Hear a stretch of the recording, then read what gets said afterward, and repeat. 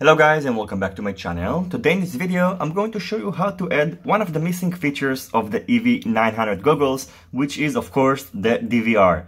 Somehow Eachine decided not to include a DVR option with these goggles and today I'm going to show you how to simply add one without having the need to disassemble the goggles. In addition, in the end of this video, I'm going to include a DVR footage that is going to compare the DVRs that is going to be recorded with the Eachine EV800D and the EV900 goggles, and I'm also going to perform a latency test.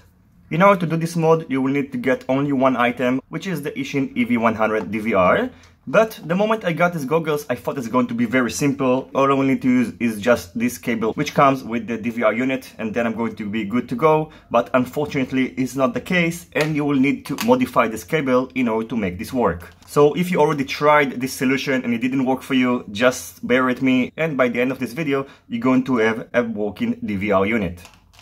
So what you will need to do is to cut this wire in the middle. Actually, you're getting two of these cables in this kit, so I recommend to use the shorter cable. After exposing the wires on both sides, you're going to need to connect the yellow wire to the black wire and vice versa. I'm not going to connect the white and red wires. Maybe you can get audio out and record it on the DVR as well, but I'm not going to do it in this modification. I'm not sure if it's possible, and in my opinion, getting audio out for the goggles, at least for my usage, is not that important. So I'm just going to cut the white and red wires on both sides.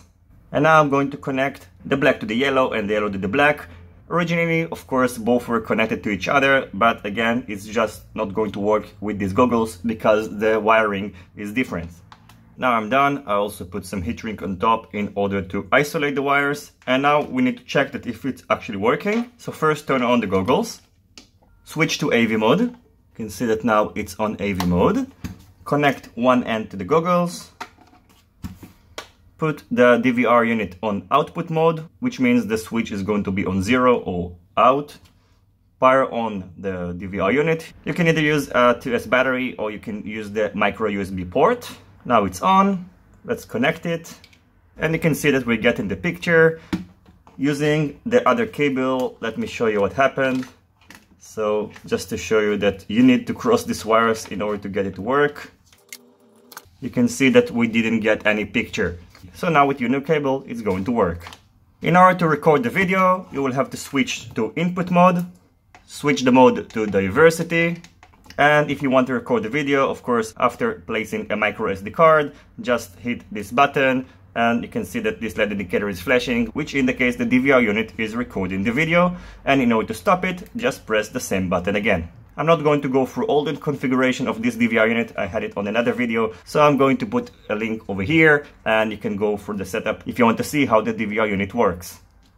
So the last step is to mount the DVR unit. I think the easiest way is to use 3M Dual Lock. So put one on the DVR unit, one on the battery, and two on the sides of the goggles. Just be careful not to block the ventilation holes. Then place the DVR unit on the side, like that, with the 2S balance collector facing the top connect the AV in, then place the battery like that, and then you can just power it up using the balance connector.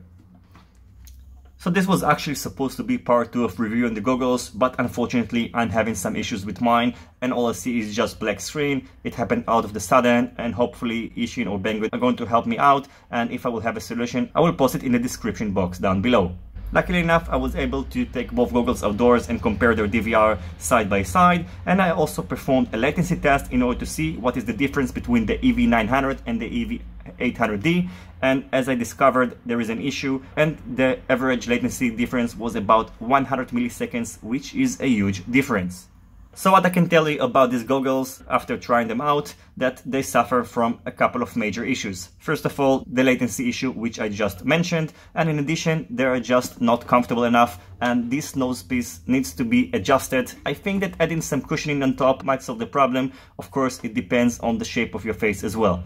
The second issue that I had is that the screen is just too big, even though its quality is really good, and when I use the HDMI input, the screen was really really clear it was just too big and it caused lots of eye strain and you wouldn't be able to use these goggles for a long time what I recommend that if you have these goggles is to stick to a 4 by 3 aspect ratio and then it's going to be more comfortable because the screen is going to be smaller. But if you're going to fly it with a 16 by 9 aspect ratio, it's going to be really hard.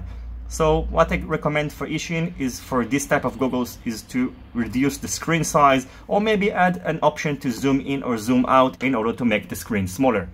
Finally, even though that I just showed you how to add a DVR, I think for that price point and for this type of goggles, it's recommended to add a built-in DVR. I don't think it's going to be very pricey and I think that people will be willing to pay an extra 10 or 15 bucks for a built-in DVR option.